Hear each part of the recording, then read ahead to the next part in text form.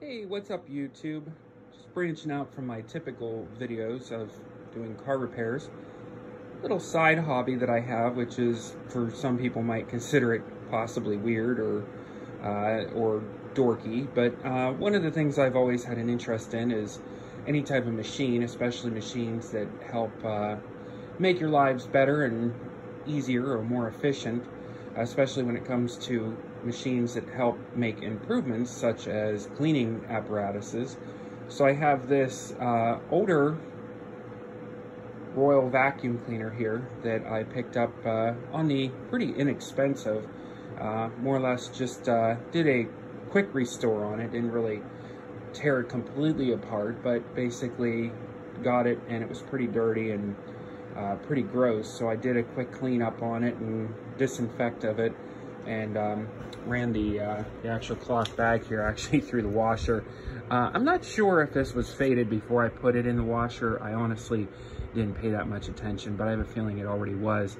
Um, but pretty unique piece of machinery here, and it really shows you how the times have changed uh, over the years as far as the way things are engineered and built.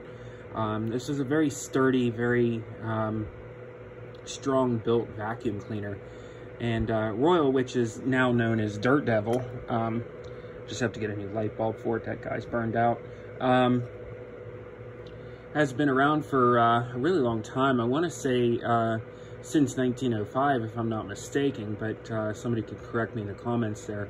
Uh, this is the 993 model, and I was trying to decipher the uh, serial number to determine the date code of when it was manufactured, and I'm pretty sure from what I was able to come up with based on the serial number, which I'll I'll put that down in the description so any of you uh, vacuum uh, guys out there that uh, know how to read that stuff might be able to tell me. But I think it's from 1988, which is kind of surprising considering it looks like it's straight out of like the 50s. So um, I do believe my grandma on my dad's side had the exact same vacuum. Uh, it may have even been the exact same color concept too.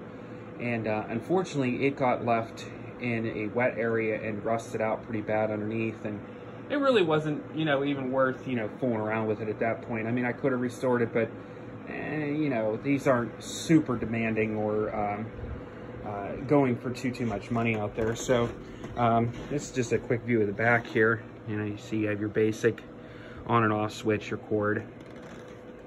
It's the back of the bag there. Bag's in pretty good shape. Like I said, I ran it through the washing machine with some hot water.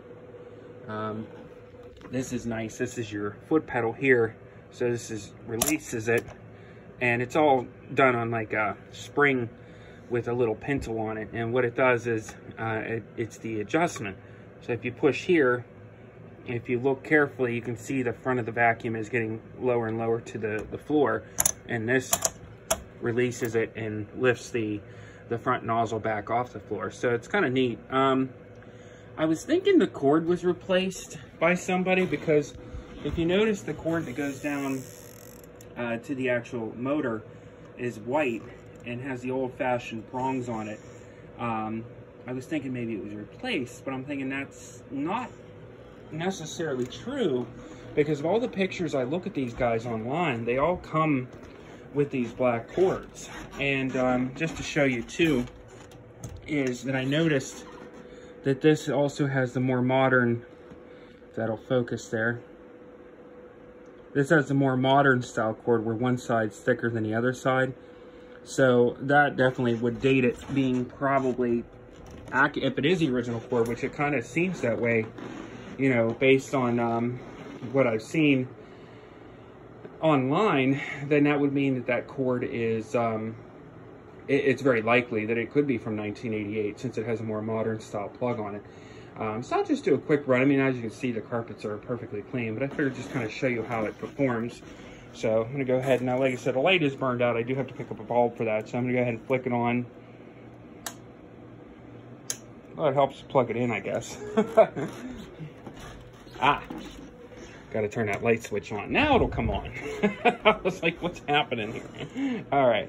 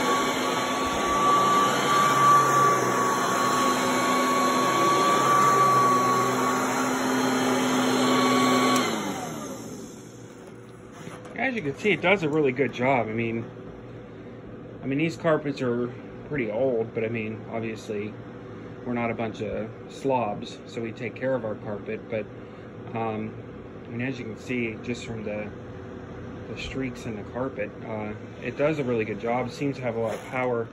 Um, so yeah, let me know what you guys think out there. Um, you can help me date it. Like I said, I'll put down in the uh, description the 993 model number and the uh, serial number so you guys can uh, give me your feedback. Um, it uses the Style Type A, I believe it's called, by Royal Bags. A little harder to come across. I've seen them on the uh, on the Amazon and on the eBay. Um, right now, I'm just using these bags here, which is the uh, the F and G for, uh, I believe these are for Eureka. Yeah, Eureka. And uh, I found they work because um, they have that tube style, um, basically a paper tube that goes up to the top of the bag down to the spout that's down here at the bottom. And it has like a, uh, a spring type of fastener. I'll just open it and show you. And what it does is it I don't know if you'll be able to see here. It uses this, uses that.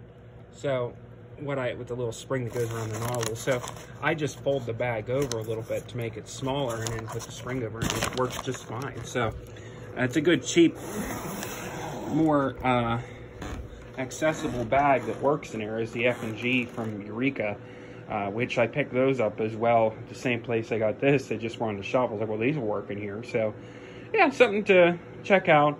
Um, like I said, not my typical video, but any of you guys out that are into repairing old fashion type of uh, machines or vacuums or anything, uh, this might be a, a good little watch for you. So, thanks for watching.